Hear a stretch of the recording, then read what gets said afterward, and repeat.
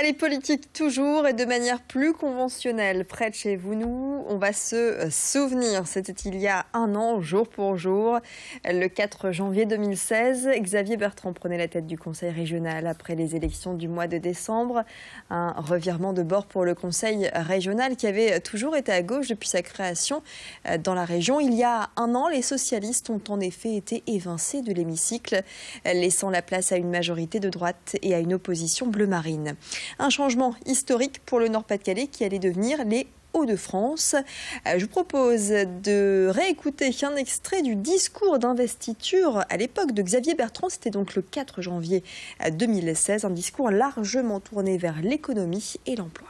Le Conseil régional sera le lieu d'où repartira la croissance régionale. Nous aiderons en premier les créateurs de richesses, c'est-à-dire les entrepreneurs, ceux qui tous les jours donnent du travail, innovent, investissent, réussissent, résistent.